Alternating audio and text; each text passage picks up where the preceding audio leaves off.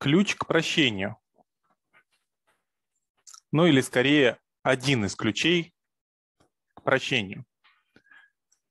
Хочу сегодня разобрать такую пословицу, поговорку, как «на обиженных воду возят».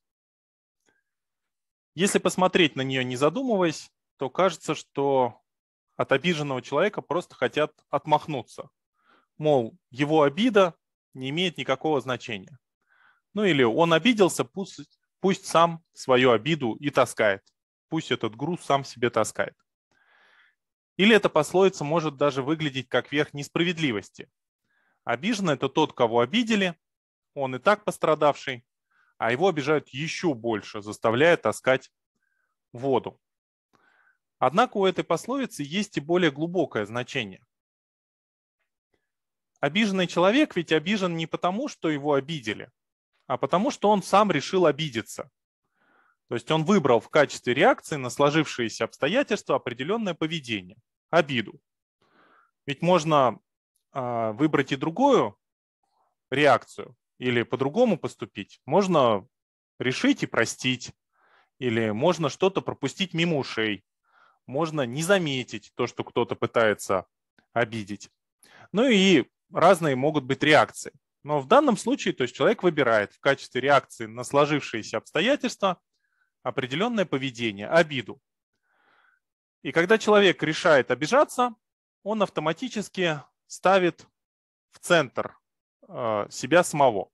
Меня обидели, со мной поступили плохо, со мной обошлись несправедливо, они все плохие, они все виноваты, а я жертва. И до тех пор, пока человек продолжает зацикливаться на себе, на том уроне, который ему нанесли, он не сможет простить. И эта обида будет его разрушать и уничтожать. Есть еще и другие пословицы и поговорки в русском языке о обиде или о прощении. Например, такие. Тому тяжело, кто помнит зло. Чтобы дружбу сохранить, научись друзей простить. В тесноте люди живут, а в обиде гибнут. То есть человек разрушает свое сердце, разрушает свою душу обидой. И иногда кажется, что если я обиделся, то человек это другой, который меня обидел, заметит, он это увидит, ему будет плохо.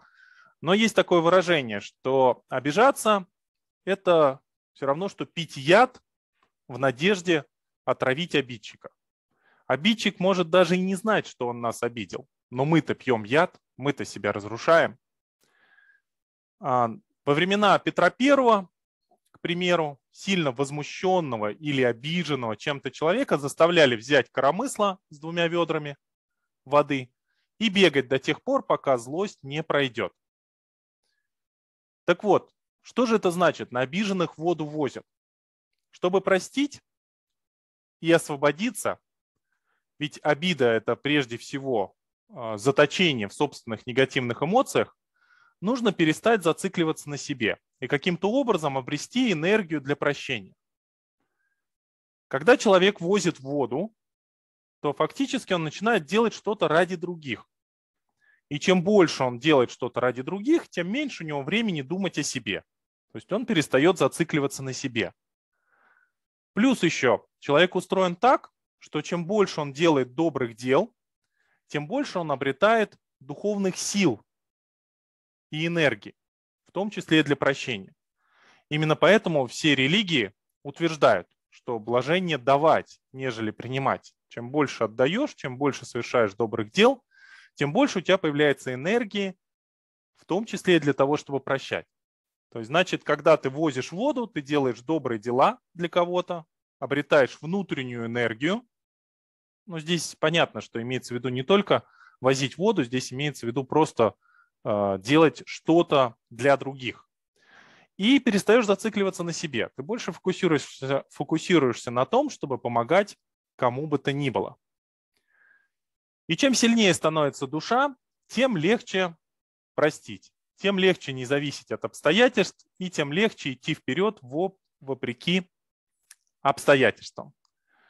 Получается, что пословица «на обиженных воду возят» если посмотреть на нее под определенным углом зрения, это ключ к прощению. Она показывает путь, как перестать зацикливаться на себе и как обрести духовную силу прощать. Ну и в конце этого видео хочу привести пару цитат.